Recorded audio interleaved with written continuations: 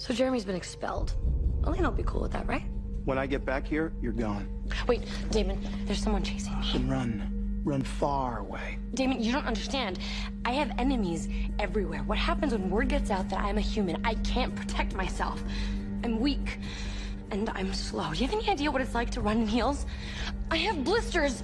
Damon, please just help me.